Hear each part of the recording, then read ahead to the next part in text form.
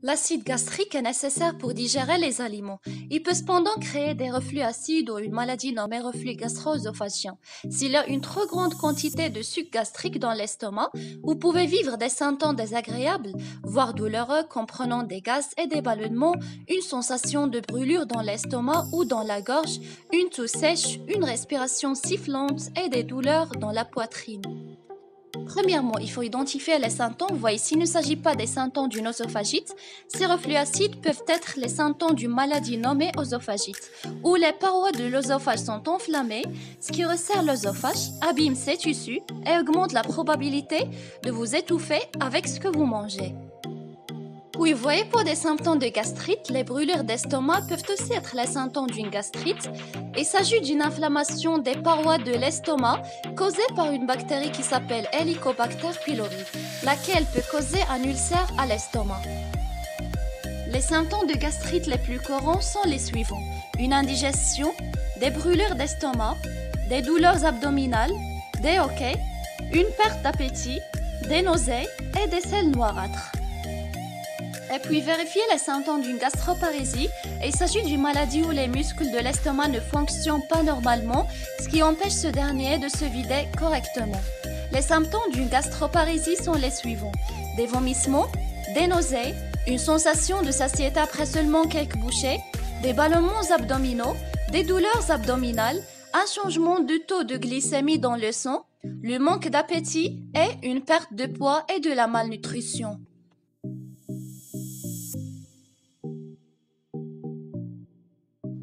Dormez suffisamment parce qu'un manque de sommeil peut augmenter la production des hormones du stress, lesquelles peuvent déclencher des reflux acides, aussi augmenter votre risque de maladie chronique et réduire votre espérance de vie.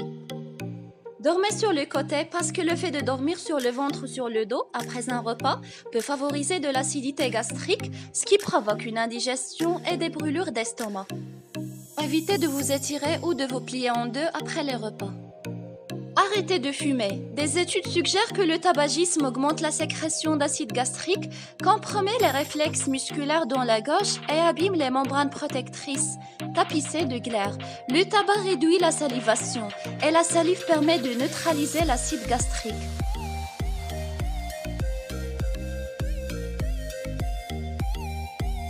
Buvez beaucoup d'eau, car l'eau possède un pH neutre, ce qui lui permet de neutraliser l'acide gastrique et aider votre organisme à mieux absorber les nutriments. Comptez boire au moins un verre d'eau d'un quart de litre toutes les deux heures. Deux litres d'eau par jour sont recommandés pour un adulte. Évitez les aliments qui augmentent l'acidité gastrique, les glucides raffinés, les aliments frits industriels, les boissons sucrées, la viande rouge, les huiles hydrogénées et la margarine peuvent augmenter l'inflammation de l'œsophage. Mangez des aliments très nutritifs. Demandez l'avis de votre médecin ou d'un diététicien pour vous aider à monter un programme alimentaire qui vous convient. Vous devriez généralement manger davantage les aliments suivants. Des légumes verts tels que les épinards ou le chou, lesquels sont riches en fibres végétales et en antioxydants. Des artichauts pour faciliter la digestion, des poivrons qui sont riches en vitamine C. Aussi des céréales complètes comme le riz complet, le quinoa, l'avoine et les graines de lin. Des légumineuses telles que les lentilles, tout en évitant les produits en boîte qui sont riches en sel et peuvent contenir des additifs tels que des graisses animales saturées et du sucre, ce qui peut favoriser toutes sortes de maladies. Aussi on distingue de la volaille maigre comme la dinde, la caille et le poulet, des poissons gras tels que le saumon, le thon et les sardines, des fruits secs tels que les amandes et les noix.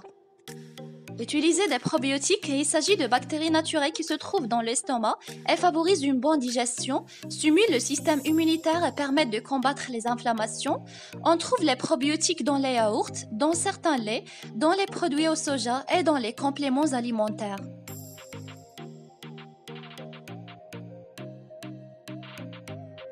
Buvez de la tisane de camomille. Les recherches liées aux bienfaits de la camomille sont rares, bien qu'il s'agisse d'un remède contre l'indigestion depuis des centaines d'années. Des études faites sur des animaux ont découvert que la camomille allemande réduit les inflammations. Utilisez du gingembre car une recherche a suggéré que la prise de 1 à 2 grammes de gingembre cru ou de racines en poudre au moins une heure avant les repas peut favoriser la vidange des sucs gastriques, ce qui réduit par conséquent les symptômes de brûlure d'estomac et de maladies gastriques. Utilisez du bicarbonate de sodium. On s'en sert souvent en tant que remède antiacide naturel pour neutraliser l'acide gastrique et faciliter la digestion. Vous pouvez vous procurer du bicarbonate soit sous forme de cachet, soit sous forme de poudre et vous pouvez en prendre jusqu'à 4 fois par jour et au moins une à deux heures après les repas ou la prise de médicaments. Ne prenez pas de bicarbonate sur un estomac trop plein. Ne prenez pas de menthe sous toutes ses formes, parce que la menthe relâche le sphincter entre l'estomac et l'œsophage, ce qui favorise les reflux acides dans l'œsophage. Le sphincter du bas de l'œsophage est le muscle qui sépare l'œsophage de l'estomac.